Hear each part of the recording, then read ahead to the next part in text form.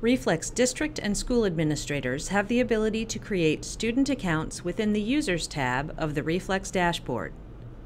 Click the Create Students button at the bottom left of the Students tab. The most efficient way to create a large number of student accounts is by creating a CSV file in a spreadsheet and uploading it to Reflex.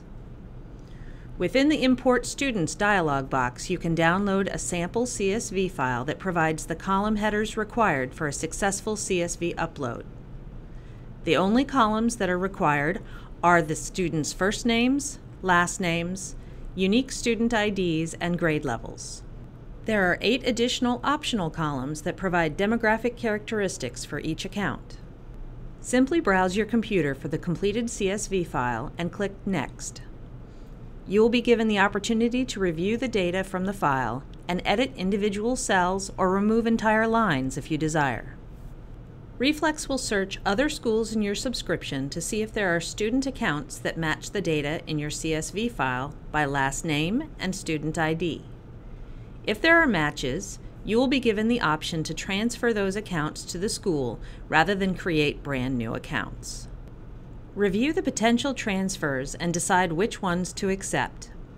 For instance, I know that the account for Tommy Pickles at Yucaipa High School is one that I want to transfer but the account for Chucky Finster is not. So I will uncheck the second line and click Next. After reviewing the warning and confirming the action, I will see the list of students that I am importing and transferring. I select Import and am informed that I have successfully imported my file and transferred Tommy's account from his previous high school. There are times when there are only one or two students who need to be added to a school. The first option for creating students, to input them individually, is the best option in these cases. Again, after you have input all of the students' information, Reflex will search through the other schools in the subscription to see if there is a student account that matches both the last name and student ID. If there is, you will be given the choice to either create a new student account or to accept the transfer of the account from the other school.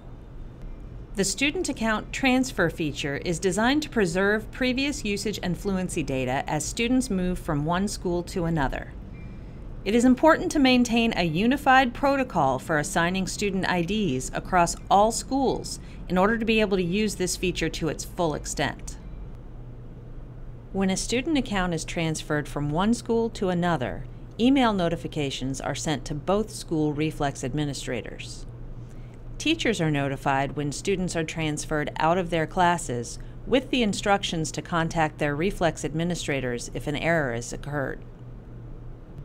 You can find full documentation in the Reflex Administrator's Guide in the section on Setting Up Students. Thank you for watching this video on Reflex student uploads and transfers for Reflex administrators. For more information on Reflex, go to reflexmath.com.